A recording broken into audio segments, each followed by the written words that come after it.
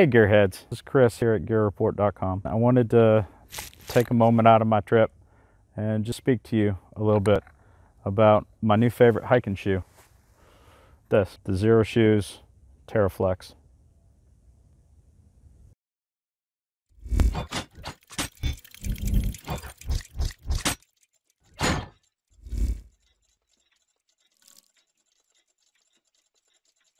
Steve and the team at Xero Shoes sent me a couple pairs of shoes early in the winter and wanted me to try them out, tell them what I thought.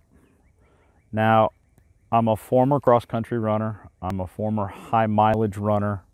I've got uh, a degenerative disease called Osgood-Schlatter's in both of my knees, and I've got a broken hip finding the right hiking shoe for me is a big deal. It, I've always been either, I've, I've been just like you. Started with hiking boots. And then as my packs got lighter and started being a little bit more weight conscious, I switched to trail runners. Then this whole zero shoe revolution came about and I started thinking, maybe that's for me, but it can't be for me. I have very high arches I have weird shaped feet, bad knees, a broken hip. I broke my hip in 96 during a run training accident. So uh, there's a lot that I have to take in consideration when I strap a 15, 20, 25 pound bag to my back and head off down the trail. That being said, um, day I remember the first five miles on just a day hike with some buddies in these shoes it really surprised me how nimble I'd become, how in sync with the ground and the roots and the unevenness of most trails here in the Carolinas. But I was looking for more of a shoe that would cover everything. They sent me a dress pair of shoes that I wear around the office at my corporate job. They're not as funky as my little toe shoes that people give me grief about. And uh, this past January, I attended SHOT Show, so just a couple weeks ago. Out in Las Vegas, it was five days of convention for the firearms industry, of convention floor showroom. I logged 107,000 steps in that time. And every one of them were in these shoes. These minimalist, flimsy, Yeah, I mean, yeah, you roll them up. I mean, that's how they flew out to and from Vegas. I did bring a my normal trail runners just in case. Just in case I needed something. They weren't working, my feet hurt too much. At the end of the day, did my feet hurt? Yeah, my feet hurt. Yours would too after a 10 mile walk on heavy concrete of a convention center at the Sands. But the next morning, when the rest of the team were rubbing their feet, putting baby powder on their feet, I think one guy was even taping up a blister. I felt fine. I felt like I hadn't walked those 10 miles. I was amazed how quickly my feet actually recovered in these shoes. So that to me was a success. Before and after, I've got probably, I'd say 50 miles of hiking on them. So between the first part of December and the end of January, that's 100 miles on these shoes. Uh, I gotta say, I'm, I'm thoroughly pleased. It's a joy every time I put these shoes on it's like I'm wearing bedroom slippers. They, they are truly have become the most comfortable shoe I own. Now, that comes with some caveats. That comes with, you know, it's not all sunshine and rainbows. One, they're like two millimeters, three millimeters thick of a sole. There is no arch. Uh, I noticed very quickly at the end of the first day I wore them that my heels hurt my heels hurt, I bet you, probably the first month. because of my background of cross country and distance running in the early to mid 90s, I was taught from the beginning that you heel strike and roll your foot. So to this day, I stand on my heels.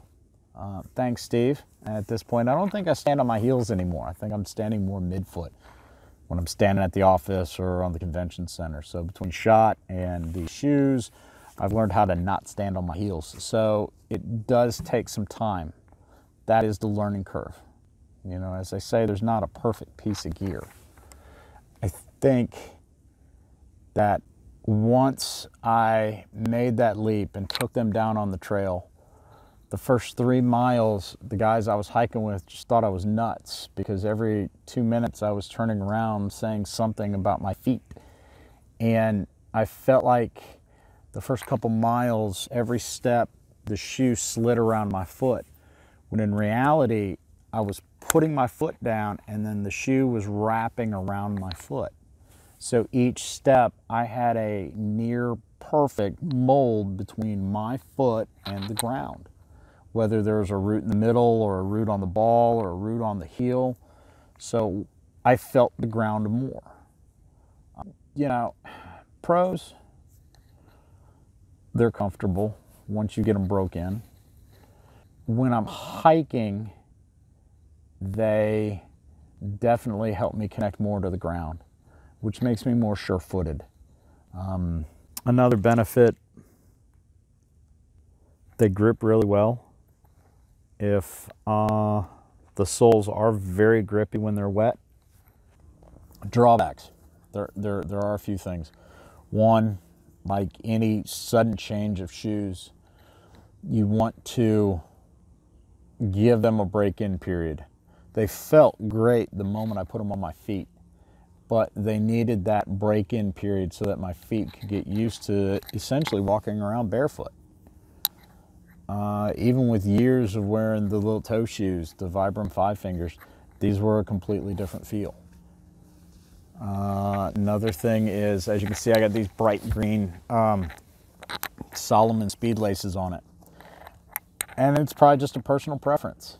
I took the laces out after Vegas. Uh, I tried, while I was in Vegas, I tried a set of the Hickies shoe ties and I just personally didn't like the way they looked. They worked fine. I didn't have one break. They held up to range day, four days of the showroom floor. They held up to the uh, the nighttime parties. I just didn't like the way they looked. So I went with these bright green Salomon speed laces. Uh, I like the speed laces because I can just stick it on, pull it tight, and rock and roll. Or if I need to get them off quickly, I can just pull the loose and let it go. So I switched out the traditional shoelace for these. Another uh, drawback, there's even though you've got a patented strap that runs from the heel down to the side and then up that you can pull tight, which actually will pull in and give you more ankle support. There's, there's even tight, there's not a lot of ankle support. So if you roll your ankles, uh, take that into consideration when you first start out. Never felt like I was going to because they're so light. I mean, I think on my scale, and I'll probably edit this in post and give you the real numbers, but they're like 22 ounces for the pair. That's 11 ounces. That's awesome for a hiking shoe. I guess in conclusion, I'd probably give these somewhere between three and a half and four gears. I like them. I'm very pleased with them. They handle what I need them to handle.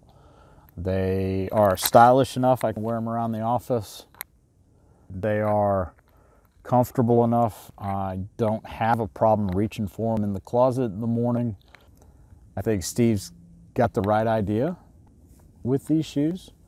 I'm very appreciative that he sent them to me. Did I pay for them? No. If I didn't like them, you, if I really didn't like them, you wouldn't get this video because I wouldn't put the time and energy into it. But I really think that I look forward to hiking in them more the spring, the summer, when we get off shoulder season, and I can really, you know, stretch them out and give them a shot. Until next time, I'll catch you down the trail.